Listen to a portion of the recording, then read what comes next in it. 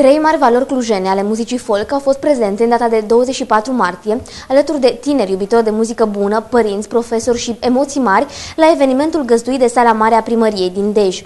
Timp de două ore, sala a răsunat de voci calde și versuri care, inevitabil, te sensibilizează și te introduc într-o lume prietenoasă.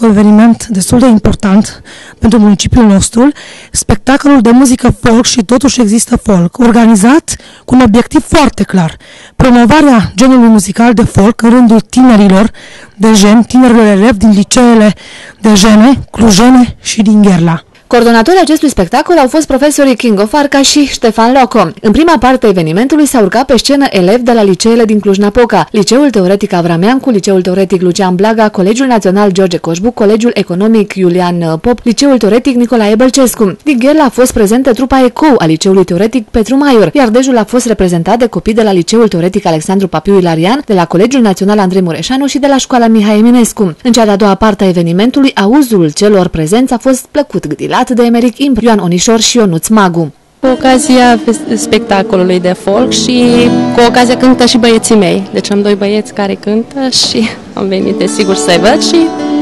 profesoara care îi îndrumă desigur. I-a ajutat foarte mult. Și totuși există folk. Și ce înseamnă asta? Un eveniment cultural-artistic organizat de Liceul Teoretic Alexandru Papiu Ilarian și Școala Mihai Eminescu. Coordonator profesor Kingo Farca și Loco Ștefan. Ca să-mi susțin colegele. Cântăm pe scenă? Da.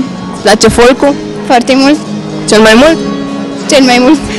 De cât timp asculti muzică folk? Cam de 2 ani, dar mai mult acum, de când uh, sunt în clasa nouă și sunt colegă cu ele. Care e artistul tău preferat? Emery Kimbre. Sala a devenit într-un timp foarte scurt arhiplină. Copiii, tineri, adulți și bătrâni au respirat pentru câteva zeci de minute același aer și au avut trăiri similare învelite în zâmbet. Simplu, au ascultat folk.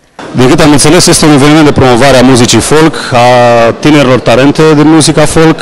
Am observat aici o grămadă de uh, liceeni, mare parte din Dej, dar s-au văzut că au venit și din Cluj, lucru care e foarte frumos și e de lăudat. În ultimii cinci ani se vede o revigorare de bun augur, zic eu, a muzicii folk împreună cu marile evenimente de la mare, cu Folk U, cu festivalurile mari și uh, e foarte bine că tinerii se apleacă asupra acestui gen de muzică. Dar uh, a cânta pentru mine e un mod de a mă defula, e o pasiune totală Până la urmă, ca să citez uh, un alt coleg de scenă pe Dino Lărașu, uh, cânt ca să nu mă sufoc.